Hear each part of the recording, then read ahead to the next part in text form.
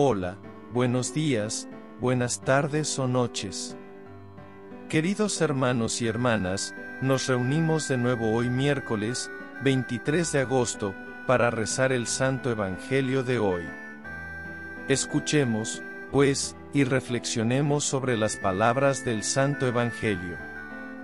En el nombre del Padre y del Hijo y del Espíritu Santo. Amén.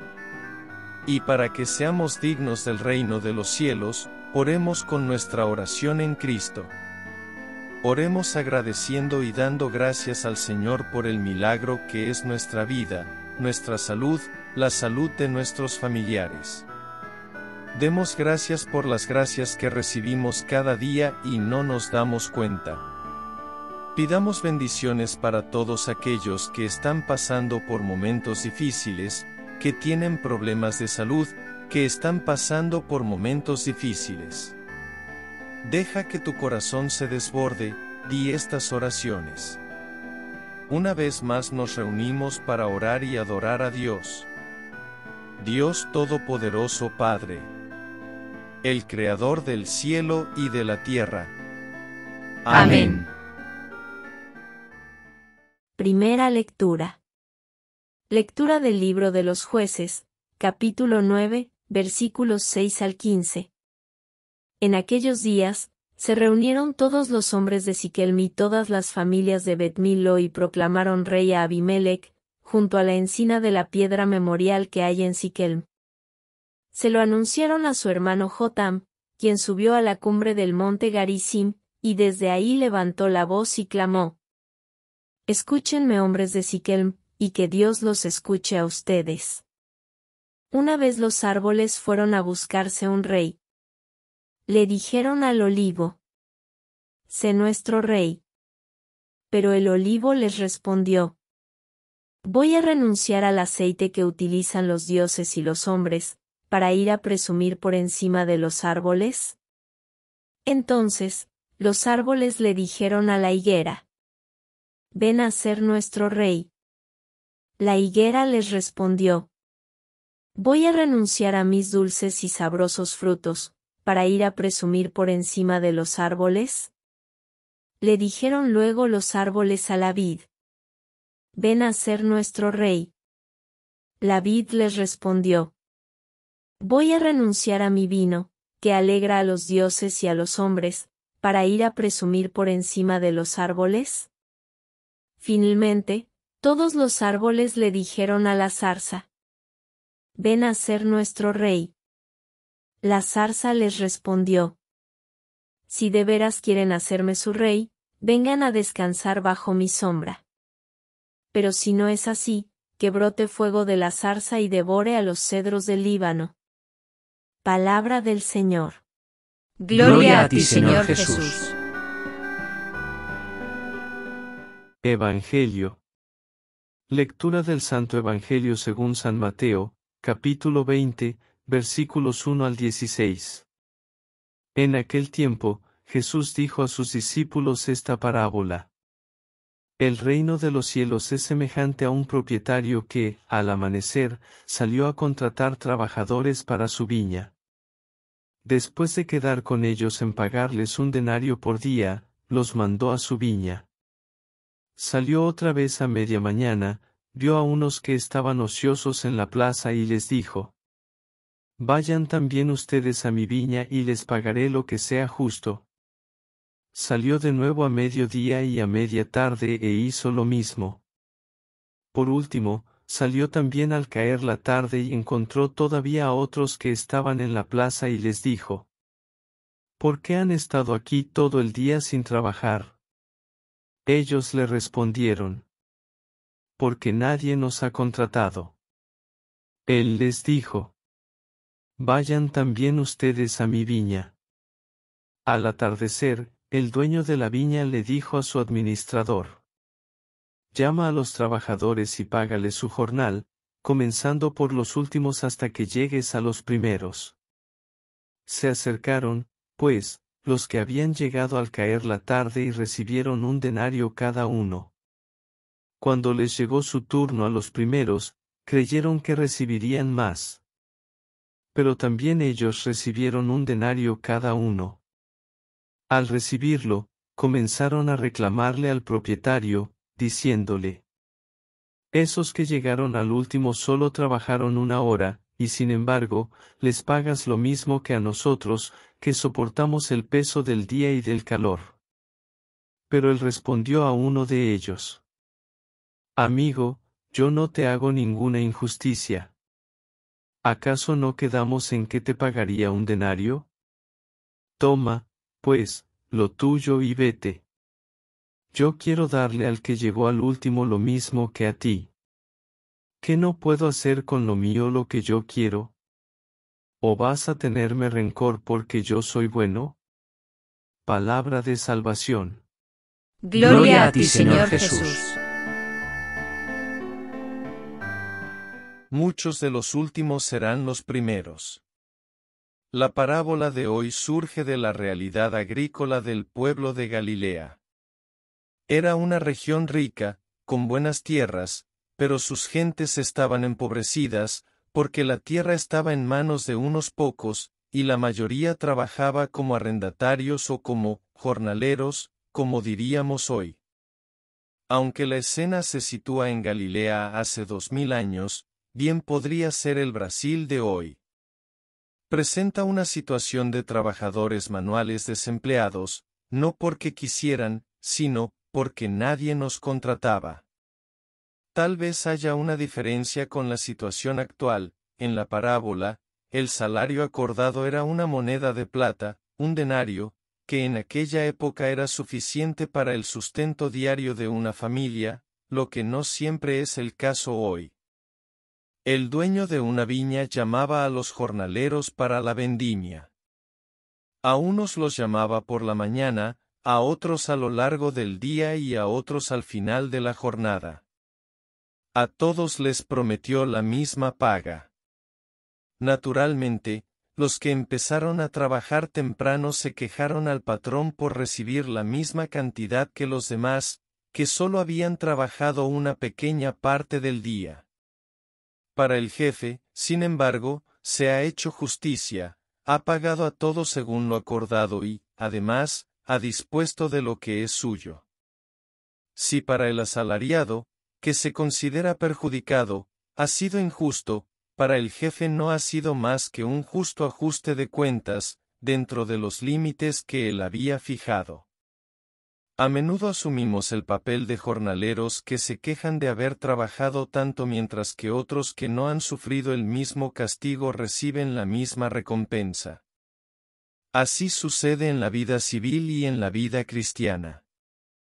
Pero para Dios, no importa cuánto tiempo hayamos estado trabajando o cuánto hayamos dado, importa con qué amor lo hemos hecho, con qué dedicación lo hemos hecho. Además, el Señor nos da su gracia y dispone de ella como quiere. Esta es la aparente contradicción, la perspectiva humana entiende que el pago debe corresponder al tiempo o a la responsabilidad del trabajo. Dios no. Él entiende que puede disponer de lo que es suyo y lo da a cada uno como le parece. El texto nos enseña que la lógica del reino no es la lógica de la sociedad actual.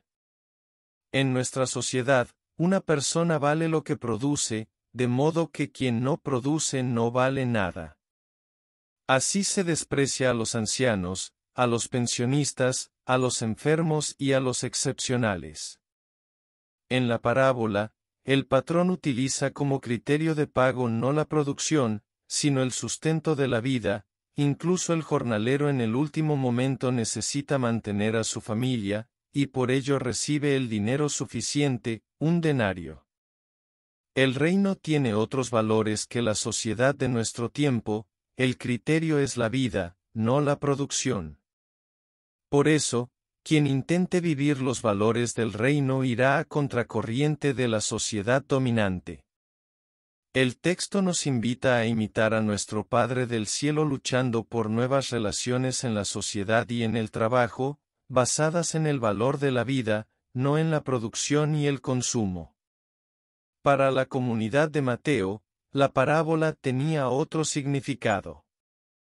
Los paganos empezaban a entrar en la comunidad, y a muchos cristianos de origen judío les costaba aceptarlos en pie de igualdad, eran de la última hora. Mateo cuenta la parábola para enseñarles que en el reino, vivido a través de la comunidad, no puede haber discriminación entre cristianos de distinto origen, por lo que, los últimos serán los primeros. El criterio es la gratuidad de Dios Padre, porque todo lo que tenemos lo hemos recibido de Él, y como todos somos sus hijos e hijas amados, la comunidad cristiana no puede discriminar a las personas por ningún motivo. El Señor siempre nos está convocando a formar parte de su reino. Mientras vivamos aquí, seremos invitados en todo momento a estar en sintonía con el reino de los cielos. Dichosos los que respondan a la llamada del Señor a una edad temprana, porque disfrutarán de todo lo que Él ha dispuesto para que tengamos una mejor calidad de vida. Cuando aceptamos la invitación de Jesús a entrar en su reino, teniéndole como Rey y Señor de nuestras vidas, nos convertimos también en sus colaboradores para atraer a otros que aún vagan por el mundo y no han encontrado la verdadera felicidad porque no han abrazado la salvación de Jesús. La recompensa es la salvación y el Señor la promete a todos los que la abracen. En cualquier momento de nuestra vida, incluso en la hora de nuestra muerte, tendremos la oportunidad de ganar el premio de la vida eterna. Es por la bondad y la misericordia del Padre que nos envió a Jesucristo que somos salvos. Así que no nos preocupemos por ser los primeros o los últimos, lo más importante es que ya estamos en el redil del reino de Dios. ¿Has aceptado la invitación a trabajar en la viña del Señor? ¿Qué recompensa esperas? ¿Te importa que otros reciban también la misma recompensa que tú esperas? ¿Quieres que muchos entren contigo en el reino de Dios? ¿Qué has hecho para que así sea? Padre, que nunca me deje llevar por el espíritu de ambición y rivalidad, convencido de que en el reino todos somos iguales, hijos tuyos.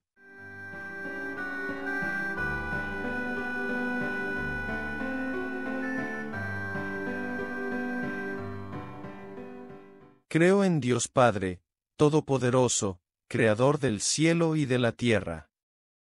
Creo en Jesucristo, su único Hijo nuestro Señor, que fue concebido por obra y gracia del Espíritu Santo, nació de Santa María Virgen. Padeció bajo el poder de Poncio Pilato. Fue crucificado, muerto y sepultado. Descendió a los infiernos.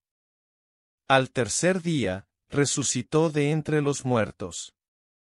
Subió a los cielos y está sentado a la derecha de Dios Padre Todopoderoso desde allí ha de venir a juzgar a los vivos y a los muertos. Creo en el Espíritu Santo, en la Santa Iglesia Católica, la comunión de los santos, el perdón de los pecados, la resurrección de la carne y la vida eterna. Amén. En efecto, es justo y necesario, es nuestro deber y nuestra salvación, darte gracias siempre y en todo lugar, Señor, Padre Santo, Dios eterno y todopoderoso, por Cristo nuestro Señor. Él es tu palabra viva, por la cual creaste todo. Él es nuestro Salvador y Redentor, verdadero hombre, concebido del Espíritu Santo y nacido de la Virgen María. Él, para cumplir tu voluntad y reunir un pueblo santo en tu alabanza, extendió sus brazos en el momento de su pasión para vencer a la muerte y manifestar la resurrección. Por él los ángeles celebran tu grandeza y los santos proclaman tu gloria. Concédenos también asociarnos a sus alabanzas. Querido Señor Jesús, tú sabes cómo darle un lugar a tu Padre en tu vida ni los milagros ni la atención a tus discípulos te hicieron olvidar lo fundamental. Ruego que tengamos la fuerza para seguir sus pasos.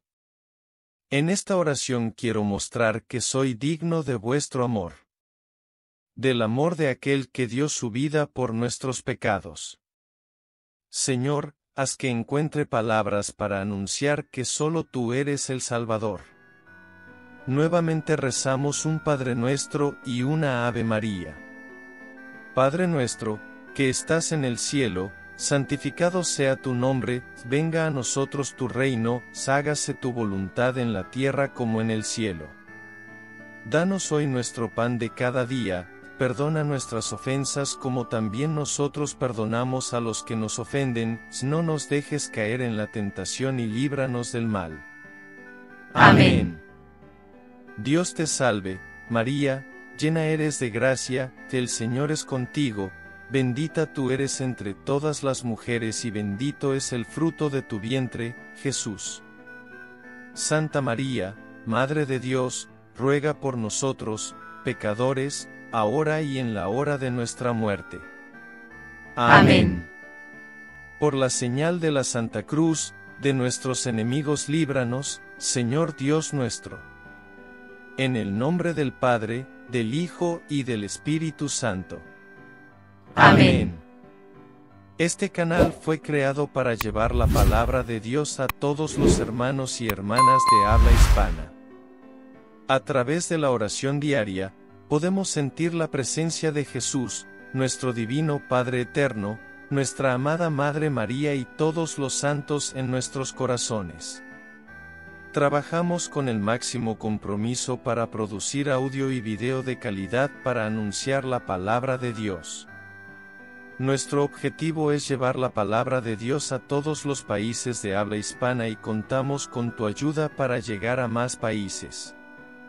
Actualmente, solo el 4% de las personas que ven nuestros videos están suscritas al canal. Por eso te pedimos dale me gusta, comenta, suscríbete y activa la campanita para recibir nuestras notificaciones cada vez que tengamos un nuevo video al aire. Comparte con tus amigos y comenta tu nombre y la ciudad o país donde vives.